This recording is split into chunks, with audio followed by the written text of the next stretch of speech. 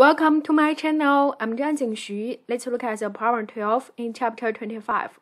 Chapter 25 is about electric currents and resistance. So there we can see we have a resistor. Its length is given and its diameter is given. We need to find its resistance.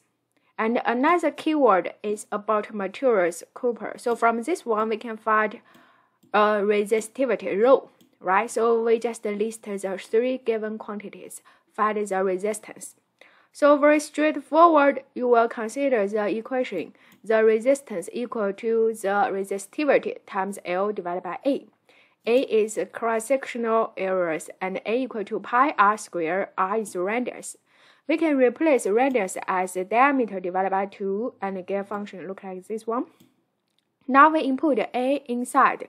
We get function for resist, resistance R. Input given quantities, get answer there. Thank you.